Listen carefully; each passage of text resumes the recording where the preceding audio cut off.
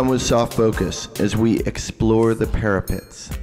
The coast of Britain is littered with castles and keeps. No one knows what they were made for. Some say it was a fear of sea animals. Some say they were built because people were bored. Others say it was a great public arts project made by a socialistic government. We will just never know. What we do know is that they buried their pets in the ground outside with loving tenderness. Beagles, mice, hamsters, and guinea pigs alike were interred with great pomp and circumstance in tombs festooned with glyphs and gold ingots. Centuries have passed since the castles were put to practical use, but now Soft Focus insists that the old fireplaces be fired up, the hay on the floor freshened, and the portcullis lifted in order that we conduct an interview with one of the most bewitching musicians of our time, J Mascis of Dinosaur Jr., Deep Wound, Witch, J Mascis and Friends, and The Fog. I can't wait to speak with him.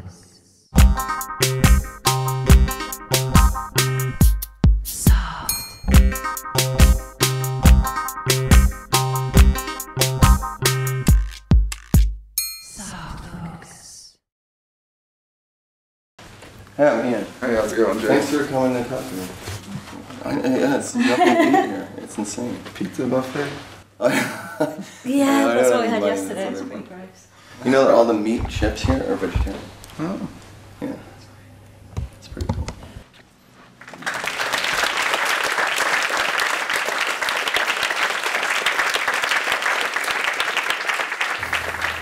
This is nice, I think. I didn't know there was an audience involved. Yeah, nobody, uh, nobody told me either. No, no, I- yeah, somebody was supposed to tell you.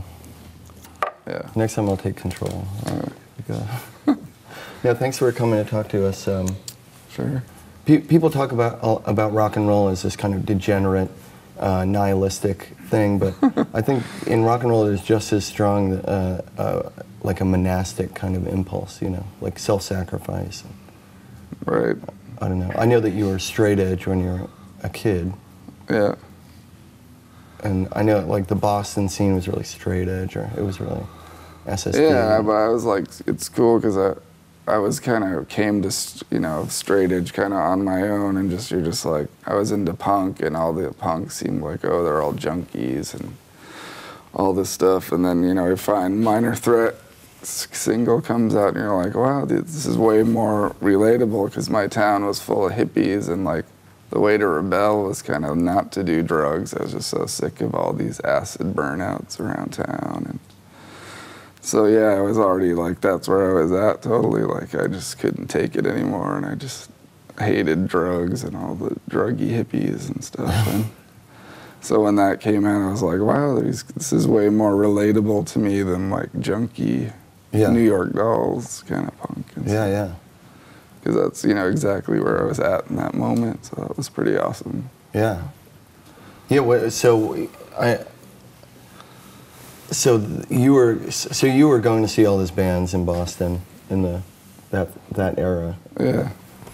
That's um It was convenient because it was I was two hours away from Boston, but all the shows were right next to the bus station, so you could take the bus and it would drop you off, and it was this art gallery next to the bus stop, and go back to the bus and go back to Amherst. So were you going to the the Rat or the Channel, or were you It going was to called Gallery East. It was most of the shows were Hmm. Like, you know, like Negative Approach I saw there, and Minor Threat, and Yeah, Gang Green cool. and stuff. yeah. Well, Boston is I don't know if people here probably don't know this, and maybe people in America don't know, but it's kind of a L.A. East. It's like a real music industry town in, in a way, like so many of the bands that break, you know, in a kind of more college, you know, on the a substrata, all come from Boston. Oh yeah. What do you think of that? I always related more to New York or had better luck in New York because that's three hours for me and Boston was two hours. And Oh yeah, yeah. we always kind of felt more accepted in New York and stuff. So I'd always kind of go down there, not after hardcore kind of ended and we were just kind of starting Dinosaur and trying to you know, it was weird starting a band after hardcore. You know, we tried to play at a hardcore show, but we weren't really hardcore anymore, and everyone hated us. So it was like, oh, we have no fans anywhere. So kind of Yeah. New York was the first place we kind of Yeah. got some sympathetic ears, I guess. Wh- Who were, who were the sympathetic ears? Well, uh, people? just, yeah, you know, like our first gig, we opened for Big Black, Maxwell's, and like Sonic Youth was there, and some other people, you know, that just seemed to be, you know, more interested in us. Like in our hometown, we got banned from every club pretty much immediately for being too loud and too. If you're too loud and you don't have any fans, it's a bad combination. Um, you're from uh, you're from Amherst. Are you from Am- Amherst? And uh, there's a cartoon that used to be popular in the United States called Scooby Doo, and uh, there were five principal characters, and each each of the five represented one of the colleges in Amherst.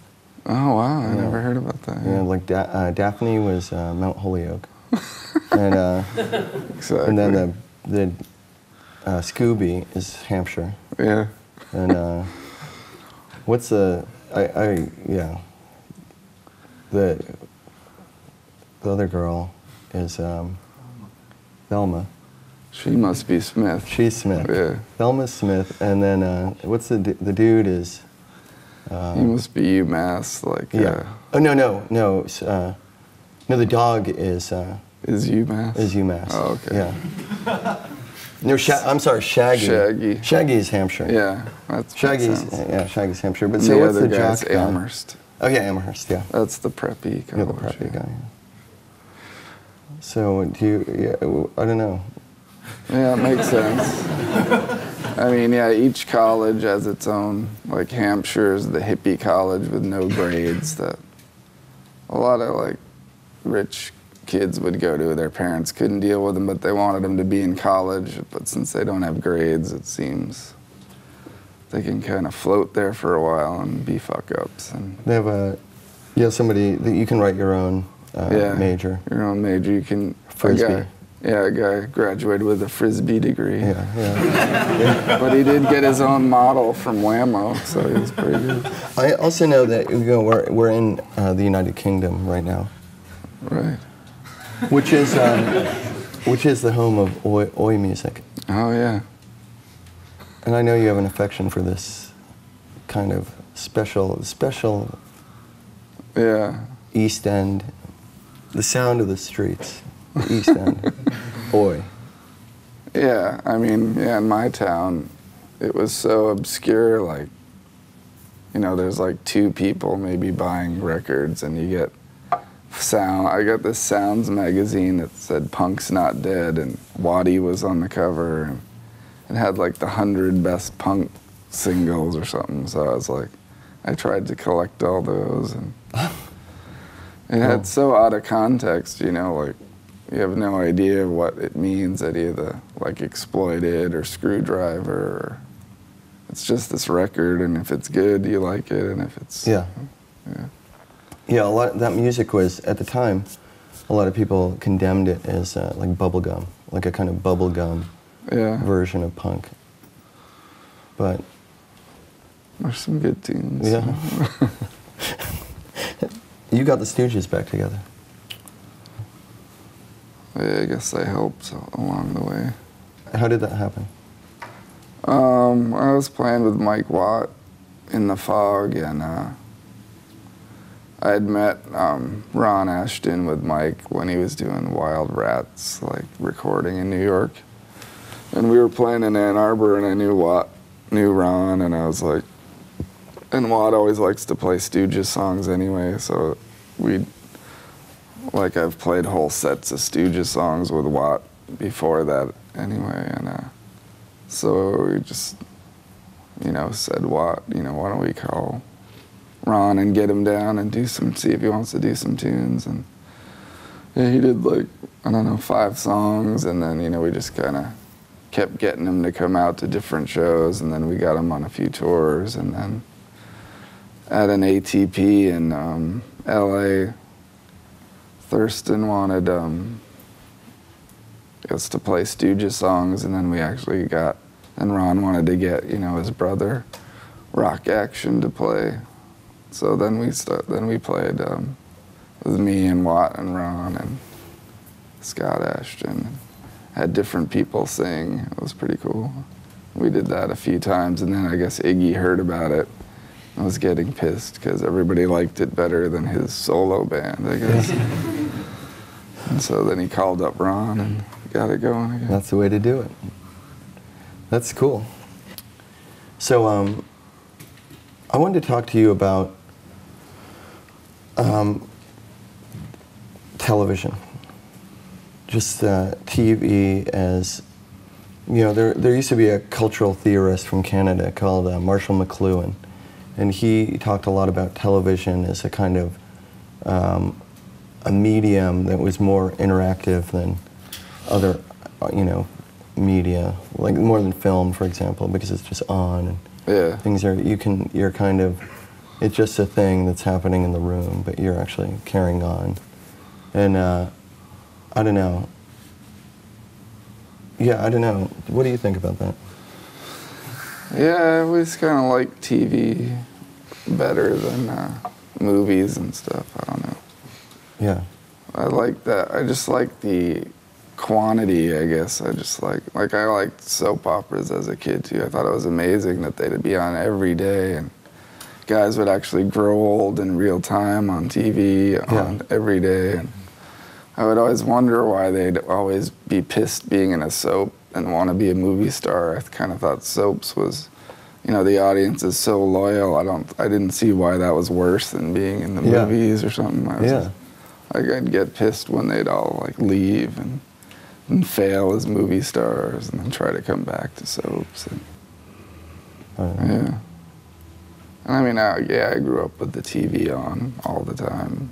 It was just on in the house in the background, and you know, we pay attention to it now and again. Or, yeah. but Do you see it as like a medi- Is it like meditative, like something that allows you to focus? I, I don't know, because guitar players typically, they, you know, there has to be something to allow you to practice guitar.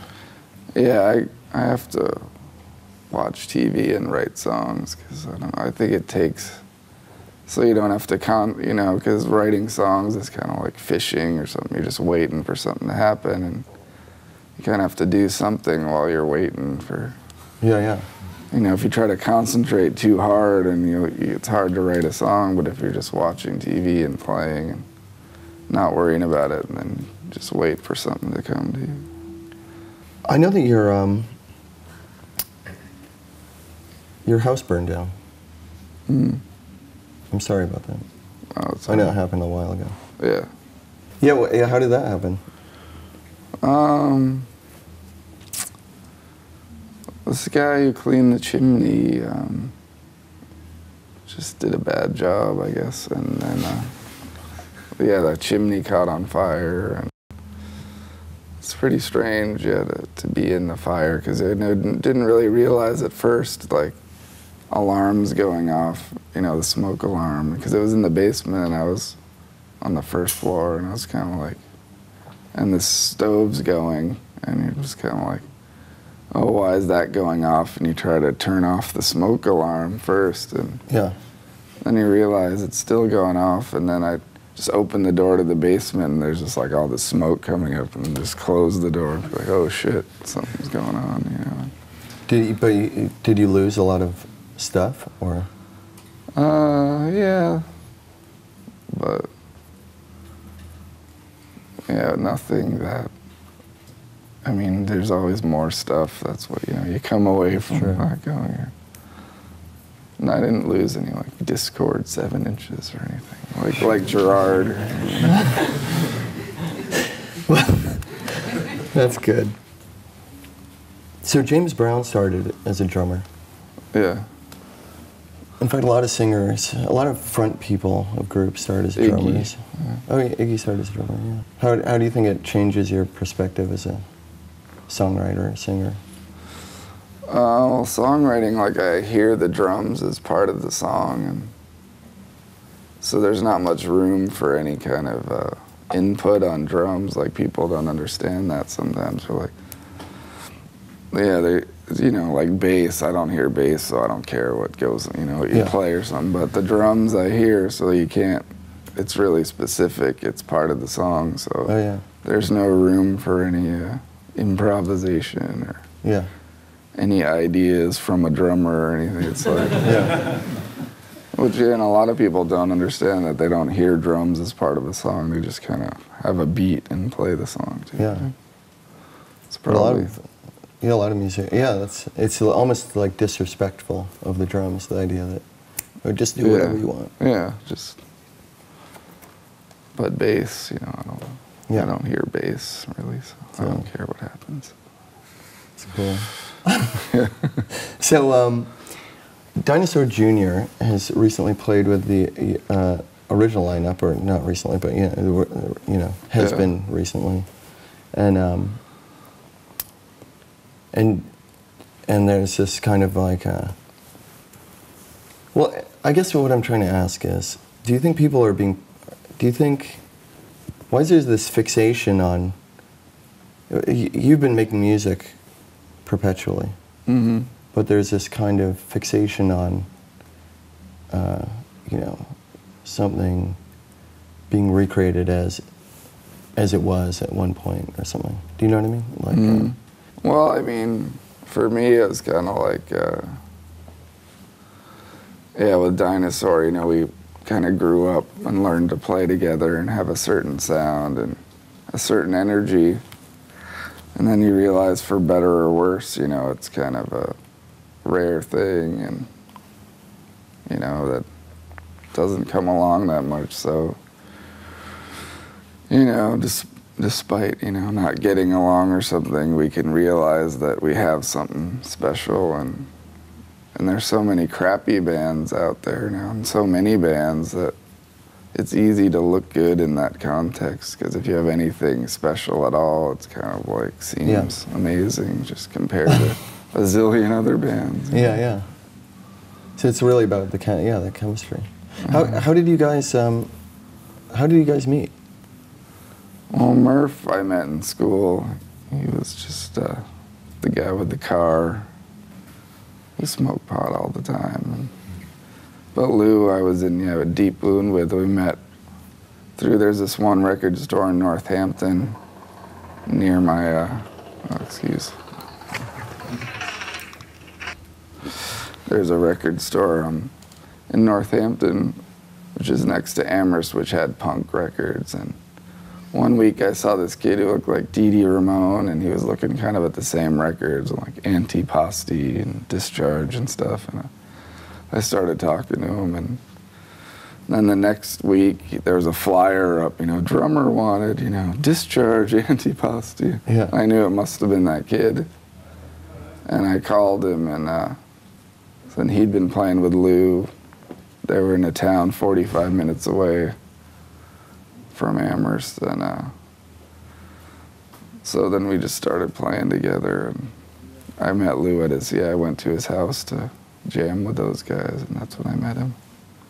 Cool. And I always thought it was strange, like he wouldn't really talk, but anything he would say, I could, I could find in a fanzine laying around his room. Like any sentences he said, I was like, I saw that in the fanzine he just had. What kind of fanzine? Like Forced Exposure or something? Yeah, like sick teen and Yeah. Who was he? Maybe was he quoting Byron Coley or or Narby Ugly or just any. Yeah. Those guys were pretty vulgar, those writers. Oh yeah. So was he saying vulgar things? No, no, just kind of like can't even remember. Four Just- stars. Yeah. Well, I just want to thank you for coming to talk to me. yeah. I really enjoyed it, actually. Cool. Thanks a lot, man. Yeah, thanks.